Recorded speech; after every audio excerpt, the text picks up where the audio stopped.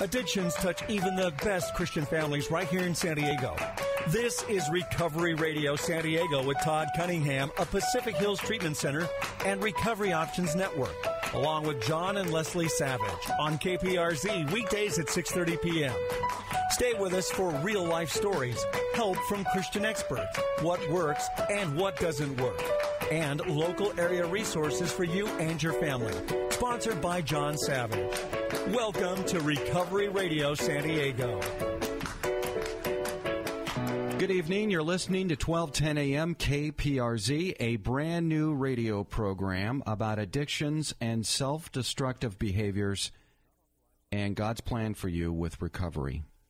Welcome to Recovery Radio. My name is John Savage, and I am a grateful recovering alcoholic and addict.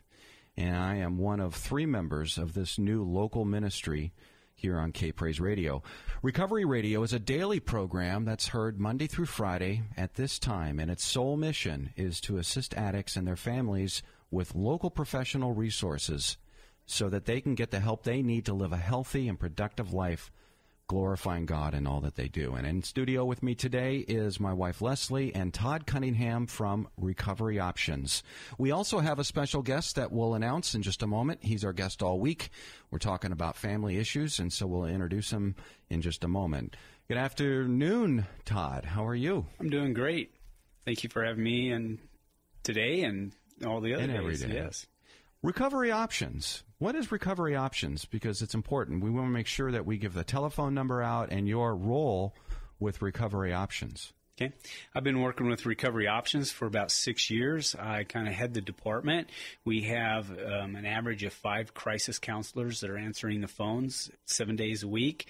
Um, what we do is we receiving calls, uh, probably about 100 to sometimes 200 calls a day from people that have family members or them themselves are addicts or alcoholics looking for help. They range from people that have no home or family to the elite people that you might consider in, in Hollywood They're very wealthy. Call us and, and we help run through questioning them on what they're going through and doing a um, assessment and determining what they need and helping them find the services that they need. And one of our, our sponsors of this program is Pacific Hills Treatment Center, and which is a Christian treatment center just up the road in San Juan Capistrano. We haven't spoken too much about Pacific Hills, but provide us with a, a brief detail of Pacific Hills. Well, Pacific Hills was started about three years after Recovery Options was started. Um, they, the owners, Rick Jackson and Kirby Dean, seen that there needed to be a Christian drug and alcohol treatment center that was professionally run. And so they started Pacific Hills. Pacific Hills has three uniquenesses about it. Number one is DNA is Christian. They were started out as a Christian company, and the decisions that they make make and what how they perform their services are all in line with Scripture. Number two, they consider dual diagnosis, and dual diagnosis means that if somebody has a psychological issue, maybe something as simple as depression, anxiety, um, all the way through ADHD, ADD, and you know something that's psychological, that they're able to provide drug and alcohol treatment and be aware of these situations and provide the addiction treatment at the same time working with the uh, dual diagnosis. Um, what type of programs do you offer up there uh, at Pacific Hills? We offer um, alcoholism treatment, drug addiction treatment. Um, we provide residential, where you come in and stay with us for 30 days. Uh, we have a transitional care that's after that, that's for an additional 30 days, which Norm, our guest here, supervises and directs that program. And so that's the treatments that we provide. Very good. Okay, so throughout this uh, program, we want to make sure that if you're struggling with a drug or alcohol problem and you want to speak directly with Todd, we're going to encourage you to call Todd at uh, area code 949 973 9140. 949 973 9140, and we'll give this phone number out in the middle of, the, of uh, this afternoon's program and then at the end. If you've got a email comment that you would like to make, send your email to recoveryradiosd at gmail.com. That's recoveryradiosd at gmail.com.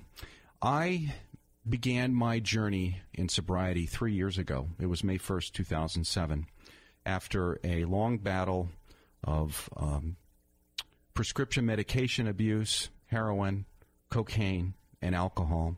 And during that period of time, I'm married with three children. I know that there there was just chaos in my family.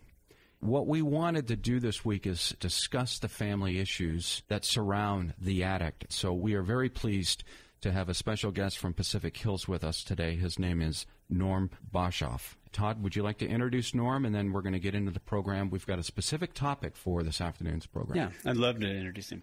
Norm Boshoff has been working with Pacific Hills for about eight years. He has been directing our transitional care program. He's also worked with our family members. Norm, would you kind of give us a rundown on your experiences and what brought you to Pacific Hills? Sure, thanks, Todd. My name is Norm Boshoff, a native of South Africa. I came over to the States to prepare for the ministry when I was 21 years old. Ended up spending the next 14 years in education. I was called uh, to a pastorate in Albuquerque, New Mexico, as an ordained Southern Baptist pastor, and spent the next 13 years there, but along the way became an alcoholic. And that took me out of the ministry. I got into recovery and have now just celebrated 18 years of continuous sobriety. And uh, helping other people to a solution of their problems has become a passion for me. So, eight years ago, I was given this opportunity at Pacific Hills Treatment Center, and I grabbed it with both hands and have happily been a part of the staff there for the last eight years. Well, I know I've enjoyed working with you in the time that I've known you at Pacific Hills. Uh, today, we've asked Norm to talk to us on family roles and the systems that are involved there. Thanks for coming in, Norm. Thanks for having me.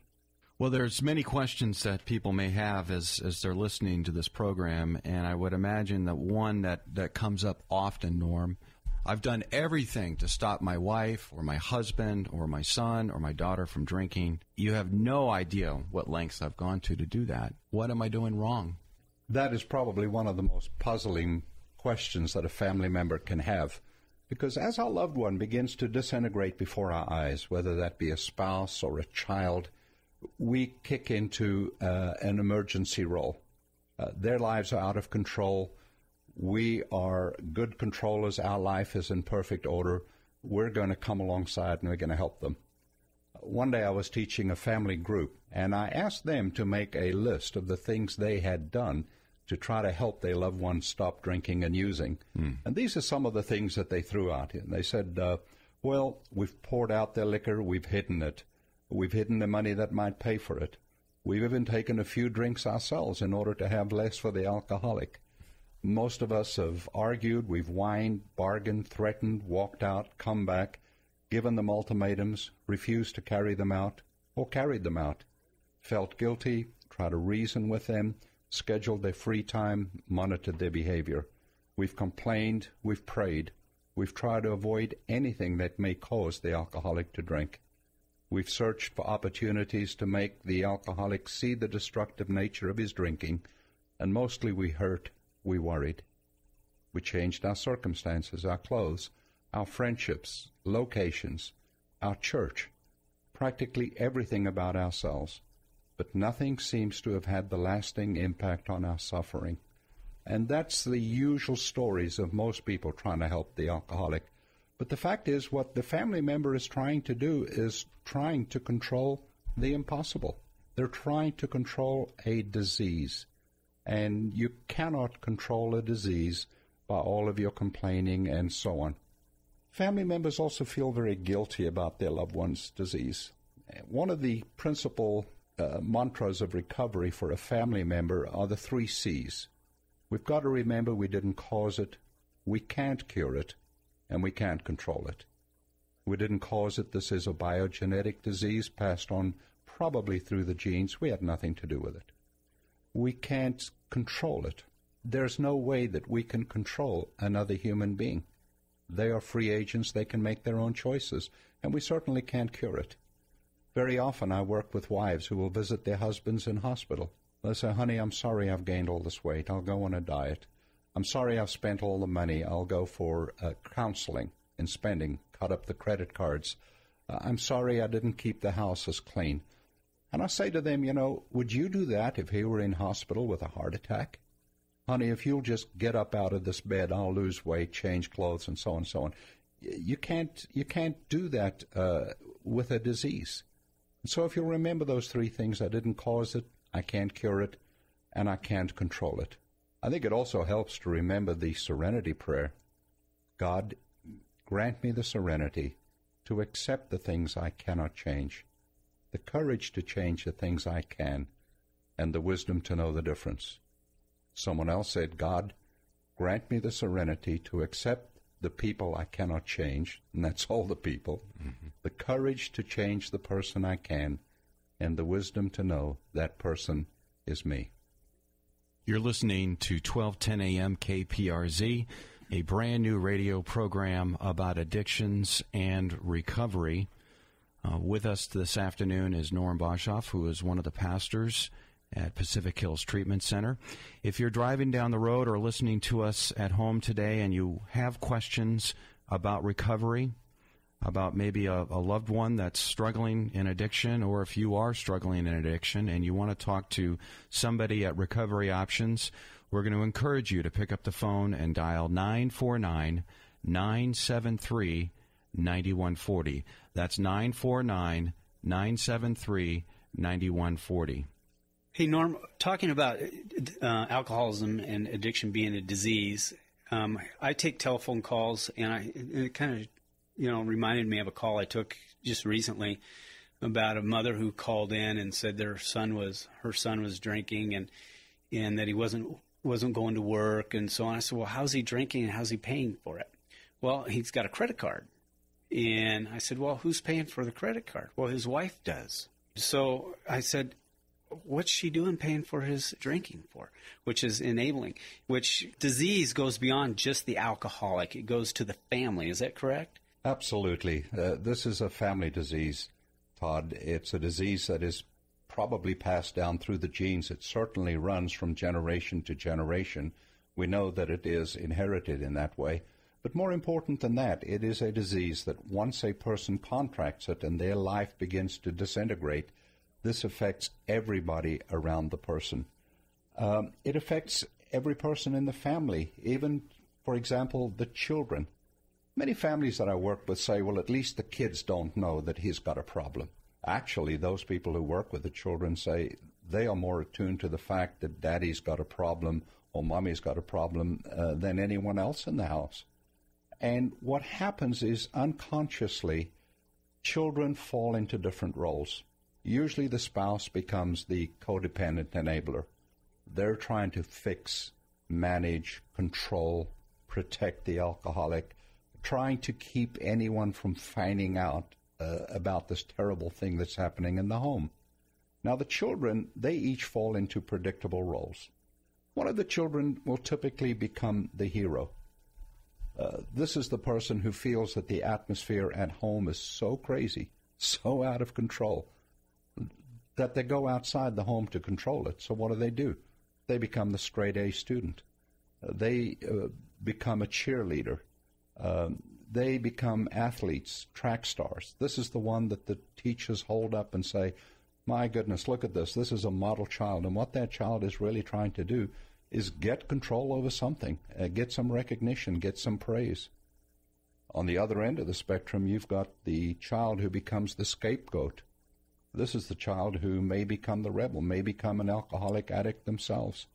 This is the one who gets failing grades, who figures that, well, bad atten- uh, getting negative attention is better than no attention at all. So they'll misbehave. Uh, they will become, in a sense, the juvenile delinquent. Then you'll get another child who becomes the lost child. This is the child who just feels so confused, so overwhelmed by the dysfunction in the home that they retreat into the wallpaper. They go into their room. They spend all the time on the computer, in their books. They're lonely, loners, isolators. Uh, they have no friends. Usually, this type of child becomes very close to animals, doesn't know how to socialize. And then finally, you get the, the clown. this is the person who feels that the family tension is so constantly overwhelming that they have to relieve it somehow, and they provide uh, the comic relief. And these are the ways that the entire family seems to just be um, twisted and warped through the disease of alcoholism. I would say that I was an isolated clown in my family. yeah, they usually, uh, families will often mention a blend of these characteristics. You're listening to 1210 AM KPRZ Recovery Radio for San Diego. Any other questions for our special guest this week? Um, well, about the child. Um, a lot of people know that their child is using or is having problems with drugs and alcohol, but tend to blame it on the people that they are associated with and don't want to take a look at their own personal situation. How do you address that issue with the parent? Thanks, Leslie. That question goes to the issue of denial. Uh, sometimes the, the truth is too hard to face. For example, the family may say to themselves, well, if he's an alcoholic addict, what does that say about me as a parent? I must have been a bad parent. And rather than face the truth that their child has a disease, they will look for something to blame, scapegoating. The alcoholic addict isn't the only one who suffers from denial. Uh, the codependent does also. And so they start to look for something to blame it on. And they'll blame it on friends or they'll blame it on anything like that. But the truth is, uh, the disease will continue to go on even if you move to another location. Uh, I say, you know, Johnny isn't uh, isn't misbehaving because of the people he's hanging around with. He's hanging around people who misbehaves because that's the crowd he feels most comfortable with. So even if you pick up and move cross country, you're going to find he's going to get the same sort of friends where he goes on the other side. And the fact is that the child has developed the disease of addiction. And what happens is once this takes place, the regular friends start to fall away and the child begins to look for people who use drugs and drink alcohol just like he does.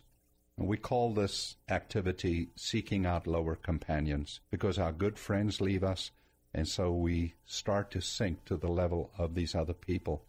And as this disease progresses, because it is a progressive disease, eventually your child becomes the lower companion that other people look down on and say, if I ever get as bad as him or her, I'll go to treatment. You're listening to 1210 AM KPRZ. This is Recovery Radio for San Diego, a radio program devoted to uh, addiction topics and recovery. I would like to ask Norm one last question. A lot of us alcoholics and addicts, we get to a point where we're struggling and praying and trying to figure out, I want to get through this. God, please help me get through this. And it doesn't seem like I'm getting an answer. I start to wonder, and I hear hundreds of other people on the phones who's who feel that God has left them, and they're they're wondering what's happened. Can you expand on that, Norm? Yeah, this is probably one of the most frustrating experiences of most Christians. One of the things that always used to bother me as pastor is people who would step into the aisle and come down to the front for special prayer, saying, Pastor, I have a problem with drugs, I have a problem with alcohol, and uh, we would even anoint them and pray for them and expect a miracle from God, and nothing seemed to happen. When I got into trouble with alcohol, I deeply believed in God and the power of God, and I laid hold of God in the most sincere, desperate way I knew how. And I couldn't stop drinking. And I became bitterly disappointed. I thought, God, I've served you all of these years, and I've really laid down my life for you. And in my moment of greatest crisis, uh, when I asked for their marriage and this person's finances and the healing or restoration of this child, I could see you come through with miracles.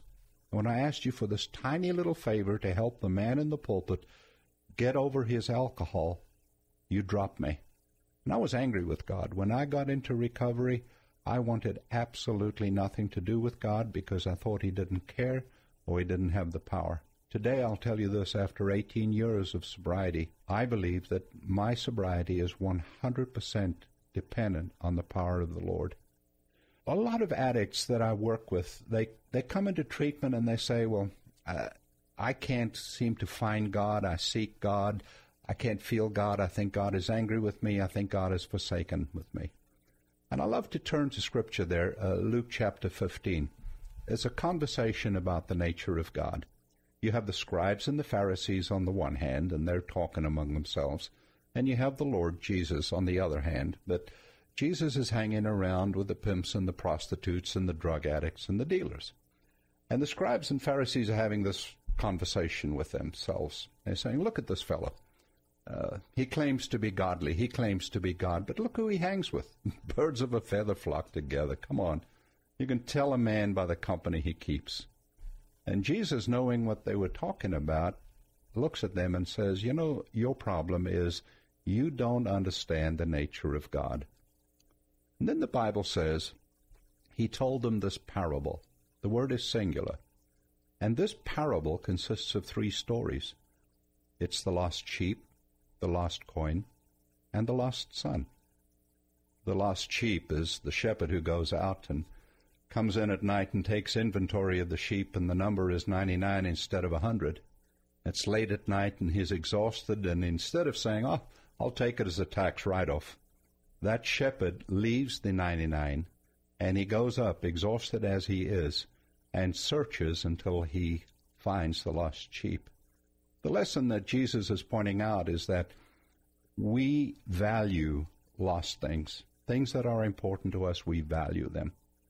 The second story is about the lost coin, the woman who loses the coin. And of course, this is very valuable to her. It has great sentimental value. And what does she do when she loses it? She lights the lantern and sweeps diligently and looks until she finds it. Lesson we value lost things. The third story that all of these are leading up to is the lost son, the prodigal. I like to think of him as the drug addict alcoholic who asks dad for the credit card and the early inheritance and goes into the far country and gets drunk and loaded and wasteful and then he hits bottom. His bottom is a pig pen. And in his bottom, in his desperation, he remembers the father's house. He remembers better days. And he says, I wonder if dad'll take me back. And he begins the long journey back, and the whole way back he's planning his eloquent repentance speech, how he his charming words and persuasive arguments will convince Dad to take him back to the house. And here's where the story gets real interesting. And I say to the men, as he approached the farm, who saw who first? And the Bible is very clear. The Father saw the Son. Why? The Father was looking for the Son. The Father didn't discount the Son, write him off, forget about him. Here was a father looking for him. And I say to the men, you know, before you came to treatment, God was here, scanning the horizon with eager anticipation, looking for you. When are you going to come home? I say, when the father saw the son, who ran to meet the other one? Of course, it was the father who ran to meet the son, because God loves him. And before the son could offer a single word of his eloquent speech of repentance, the father fell on his neck, kissed him, embraced him, restored him to sonship, and celebrated with a party. And that is the picture of God that Jesus paints. He says, The reason I'm hanging around with these pimps and prostitutes and drug addicts and alcoholics is that these are God's kids, and God values what's important. The voice you're hearing is Norm Boshoff, who is one of the many pastors at Pacific Hills Treatment Center, located up in the San Juan Capistrano area. You're listening to 1210 AM KPRZ, a radio program dedicated to addiction and recovery. We haven't given our telephone number yet, and we'll do that. But we've got some exciting news to talk to to everybody about, and that would be the scholarship opportunities that we have with Recovery Radio here on 1210 AM KPRZ. Well, you know, Pacific Hills is helping to sponsor this um, program on the radio, and so what we've done is is put together a scholarship program that is geared towards the churches and their congregation and local businesses. If you'd like to learn more about what those scholarships are and how people can uh, apply for them and, and, qualify for them, or to participate them even better, um, you can give me a call at 949 973 9140, and I'll say that again 949 973 9140. If you've got questions, you need help, need prayer, call 949 973 9140. That's 949 973 9140. All this week, we have Norm with us. Tomorrow, we'll pick up the show and talk a little bit more about codependency. But thank you for coming in this afternoon, Norm. Thanks, John. You're welcome. We'll see you tomorrow on 1210 a.m. KPRZ.